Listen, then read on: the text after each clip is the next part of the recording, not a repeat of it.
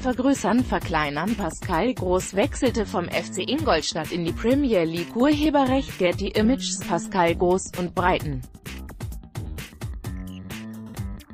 Der neue Vertrag des Mittelfeldspielers gilt bis 2022.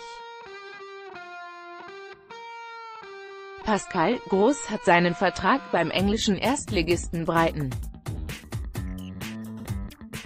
Der ursprüngliche Kontrakt war bis 2021 datiert. Wir sind sehr froh, dass Pascal einen neuen Vertrag mit dem Club unterzeichnet hat. Er hatte eine tolle erste Saison mit uns in der Premier League und wir sind sehr froh über den Einfluss, den er auf unser Spiel hat, sagte Teammanager Chris Hughton. Groß war 2017 vom damaligen Bundesliga-Absteiger FC Ingolstadt in den englischen Süden gewechselt.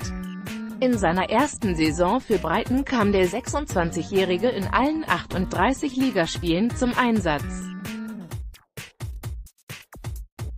Dabei erzielte der Mittelfeldspieler sieben Tore, acht weitere bereitete er vor. Keiner seiner Mitspieler war an mehr Treffern beteiligt gewesen.